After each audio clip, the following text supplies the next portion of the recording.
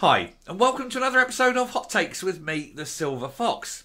Now, as we know, recently uh, Mhairi Black had a go at the SNP, had a go particularly against Sturgeon and the sort of the cult, the personality cult of Sturgeon that reigned and ruled over the party for so long. She said it was divisive, it was damaging, um, it stopped others rising, it stopped free expressions because she ruled so ruthlessly.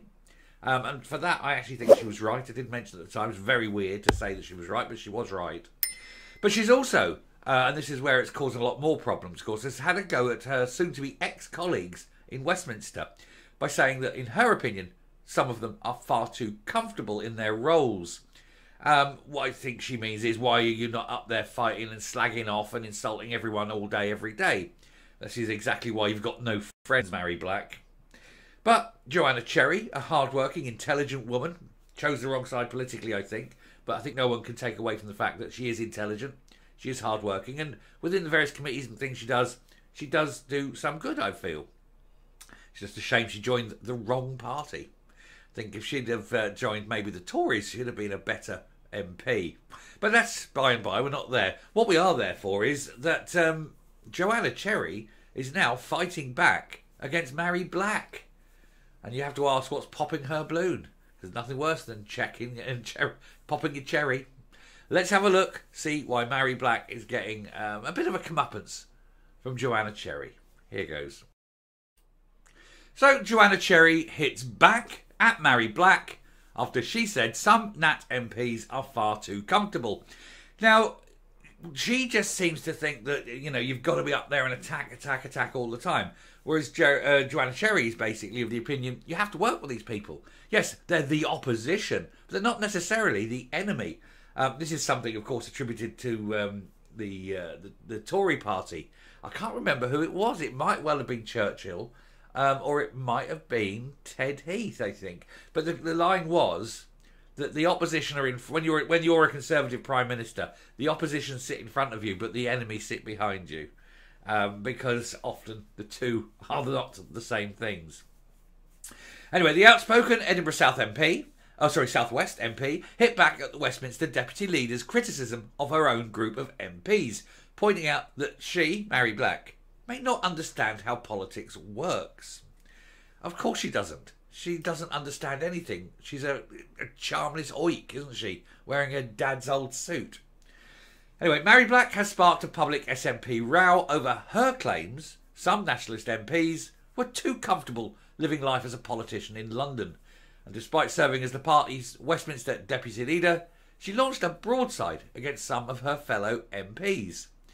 Um, yeah, which is bound to go well. You know, it's uh, going to go down like a cup of cold sick, isn't it? Mhairi Black, you don't actually do anything. You don't understand how anything works. You're an obnoxious, hate-filled bigot. You stink and you're constantly rubbing ground up Kit Kat into your gums and up your nose. It's the finest Colombian Kit Kat money can buy.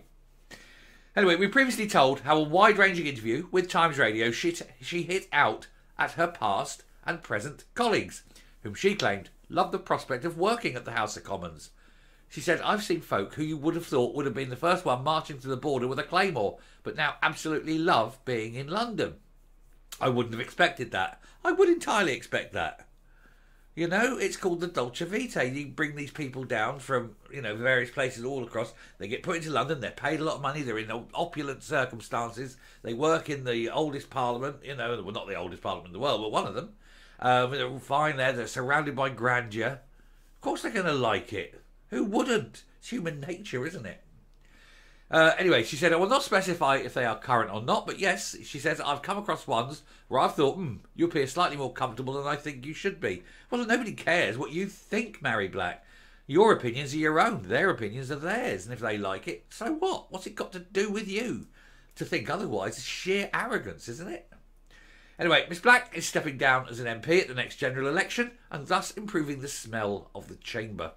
This is after being elected as one of the youngest ever representatives in 2015. She's courted controversy for her accent, which is not real. She comes from a nice middle class family and uh, she tries to be very uh, Doric in her speech. Uh, to the point where some Scots can't even understand what she's trying to say. she's trying to make that difference. And hey, if you can't understand me, you're just racist, you know. And that's her, cli- her claim, you know. But I just say, go yourself, you know. Anyway, I've spoken Edinburgh Southwest MP Joanna Cherry. Um, and I'm going to just pick up this picture here just to show you. Look at the colours she's wearing. They're the suffragette colours. Just want to make that out. Yeah. She's a TERF. She's a lesbian TERF. Because as a lesbian, she appreciates the beauty of a woman. And uh, she doesn't want to have the beauty of a woman ruined by a penis. Don't care. Anyway, writing in a column for. Um, uh, oh, no, sorry. She told her that there's a difference between being comfortable and doing the job you were elected to do. Sorry, missed that bit with my little tangent. Anyway, writing in her column for the pro indie newspaper The National, that rag, Pravda, she said, I want to take issue with what Mhairi Black said about some SNP MPs being too comfortable at Westminster. It is not easy being an opposition MP for years on end. But with painstaking work and the building of cross party consensus, good things can be achieved. This is what people don't realise that laws, when they come in, are virtually always as the result of all parties agreeing to them. They go into the committee stage, and you will have government, opposition, you know, third party, uh, sometimes an independent, and they sit on these committees and they thrash out the details of these laws, and they get things changed here, or they push something there, or they'll drop something because it's problematic, but they and they cut deals, and everything is a deal. Everything's a deal. We, we really, really want this. We'll drop that, if, you know, but let us have this, that sort of thing. And that's what goes through. But it's all parties, and yes, the SNP and the Lib Dems and the Green one, and so forth. A couple of handful of individual, uh, what do call them, independents. But they all sit on these committees. You have to get on. You have to communicate. You have to agree. It is consensus politics. The grandstanding you see at PMQs or FMQs is just for the cameras.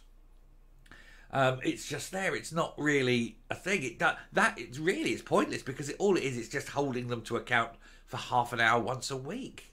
It really is meaningless uh, because most of the ninety nine point nine percent of the stuff gets done in committee stage.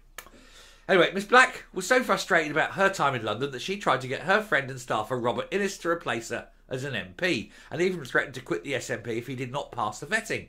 But he suffered a humiliating defeat locally, with members instead backing Jacqueline Cameron to contest the Paisley and Renfrewshire seat. Now, here's the thing how bad, I mean, literally, how bad do you have to be to fail the vetting for the SNP? They have had convicted thieves, they have had liars. They've had people who, as we say, have got very shady pasts involving the touching up of people, and they're still passing vetting. You have people who've done some awful things still passing vetting. This Robert Innes failed. Wow. How bad are you to fail for the SNP? They'll put anyone up. They'd put Crippen up if they thought he could win with a yellow rosette. Anyway, in response, Miss Cherry pointed to the work of nationalist colleagues, including Ronnie Cowan, Patricia Gibson, Carol Monaghan, Marion Fellows, all of whom are little known in Scotland outside of the political bubble. She added, We must be present and performing our jobs at Westminster, as well as spending time working in our constituencies. The SNP are not an abstentionist party. Those who want that policy to change need to do the work to build a campaign and get it debated and changed at conference. Yeah, basically saying if you don't like it, sod off. Absolutely sod off. Um, and it, it's just who she is. It's just. She's just a hate filled individual. Who the hell would vote for her? But she was wearing the yellow rosette, and so the morons that vote for the SNP voted her in. But I bet they regret every minute of it because she's just not very good. She's very unlikable. She's very aggressive. She's filled with a lot of inner loathing. She really does hate herself, and that comes through with hatred for everything and everyone else. Anyway, I shall round off there. We'll move on. We've got lots of stories, but uh, don't know how many I'm going to get done.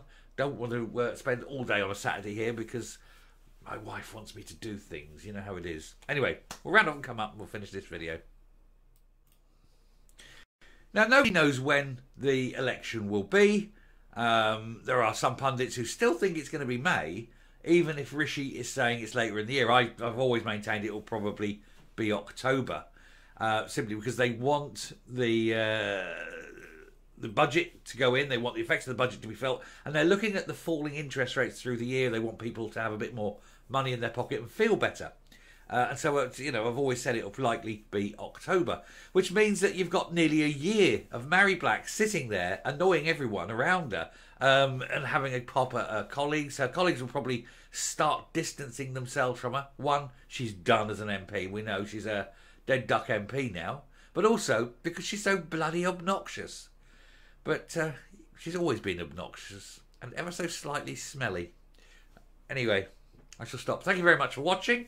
We'll let Mhairi Black get on and have a loving, tender relationship with uh, the Colombian Kit Kats, and uh, we'll let Joanna Cherry get back to working with her colleagues and um, forming relationships because I think Joanna Cherry will be there for quite a while. I think she's in a fairly safe seat even um, after the general election. I think she's in one of the safest seats, isn't she? Anyway, till next time, stay safe, stay well, and I will speak to you later. Bye.